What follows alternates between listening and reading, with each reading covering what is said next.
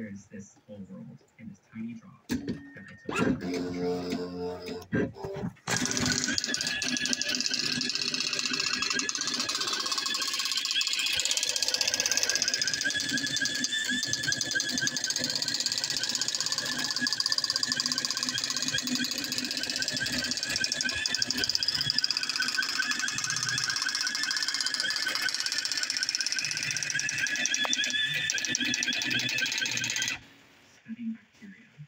is what has helped me be more comfortable with knowing that these